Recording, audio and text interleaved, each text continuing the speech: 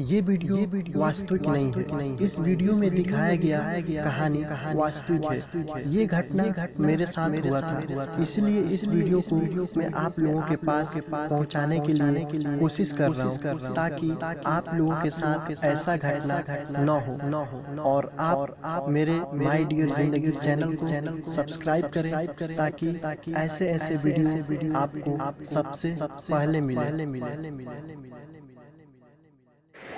Hello क्या मेरी बात मिसेज वंदना से हो रही है? हाँ बोल रही हूँ। मिसेज वंदना मैं आपके बैंक से बात कर रहा हूँ। अच्छा बैंक से बोल रहे हाँ जी बैंक से बात कर रहा हूँ मैं। मैम आपको बताना चाहता हूँ कि आपके जो डेबिट कार्ड है उसकी वैलिडिटी खत्म होने वाली है।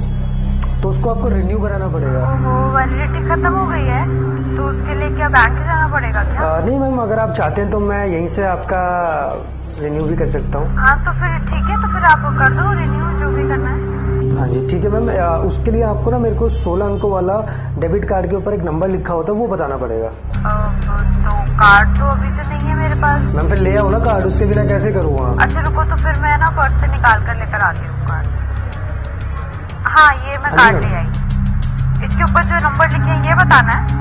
हाँ हाँ मैम वही वही वही वो वो, वो नंबर बताओ मैम मुझे। हाँ तो फिर लिखो। Five five six four just उसके नीचे देखिए एक वैलिडिटी डेट लिखी होगी। हाँ ये है मार्च 2017 लिखी है। मैम उस कार्ड के पीछे एक नंबर लिखा होगा C V V security code होगा। वो बताओ मैम हाँ लिखो।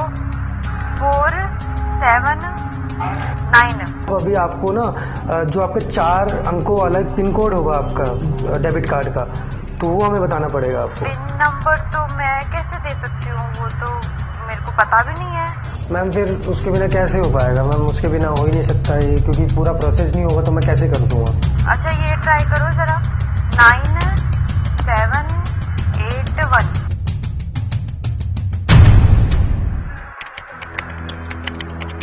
भैया, ये मेरे को मैसेज आया है, ये लिखा है कि इसमें से बीस हज़ार रूपए निकल गए हैं मेरे अकाउंट से।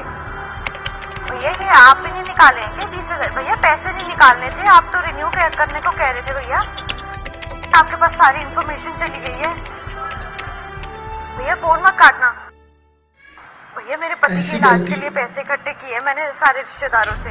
भैया मेरे पैसे नहीं है बड़ी मुश्किल से भैया इधर उधर से इकट्ठे किए भैया मैंने तो आपका विश्वास किया था भैया और आप पैसे निकाल रहे हो। बैंक अकाउंट या पासवर्ड कभी भी नहीं पूछते। मत करो भैया। मैंने तो आपके साथ आपके फैमिली के साथ हो सकता है कि कोई कॉल करके आपके फैमिली से पूछे कि अपना एटीएम का